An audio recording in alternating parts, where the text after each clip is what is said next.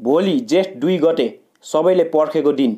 छानबिन समितिले एन्फालाई रिपोर्ट बुझाउने दिन। हामीले आश गर्न सक्छौँ खेलाडी र कोच बिचको मनमुटाव।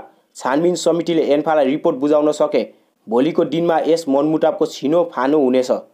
र नेपाल फुटबल फोकस भएर एएफसी एसियन कप क्वालिफायर प्रिपेरेसनमा व्यस्त रहनेछ।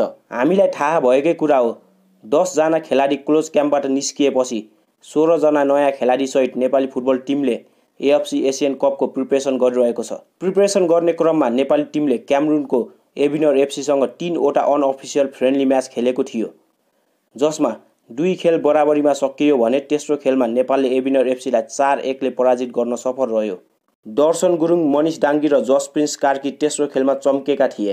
नेपाल फुटबल टिमले अहिले नेपाली फुटबलमा घटिरहेको घटना बावजुद तयारी भने निरन्तर गरिरहेको छ। अफगानिस्तानसँग फ्रेन्डली म्याच खेल्ने सेड्युल भए तापनि आन्तरिक झै झगडा र अफगानिस्तान टिम भेटनाम टिमसँग फ्रेन्डली म्याच खेल्न गएसँगै Nepal versus Afghanistan friendly match cancel भएको थियो। खेलाडीहरूले अहिले पनि म्याचको प्र्याक्टिस गरिरहेको एन्फाले आफ्नो सोसल साइटबाट पोस्ट गरेको छ। केही तस्बिरसहित एन्फाले खेलाडीहरू प्र्याक्टिसमा व्यस्त रहेको सामाजिक सञ्जालमा बताएको छ। सायद अब दुई हप्तापछि Nepal Kuwait AFC Asian cup qualifier match खेल्न जानेछ। छानबिन समितिले रिपोर्ट भोलि नै पेस गर्न सके। नेपाली फुटबलमा केही चेन्ज देख्न सक्छौँ।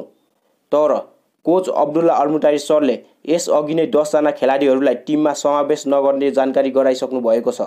अहिले देशव्यापी नै भइरहेको चुनावको रिजल्टको पर्खाइमा जसरी सारा नेपाली बसिरहेका छौँ त्यसरी नै भोलि छानबिन समितिले पेस गर्ने रिपोर्टमा के देखिन्छ जान्न हामी फुटबल फ्यान्स पनि उत्तिकै पर्खाइमा छौँ।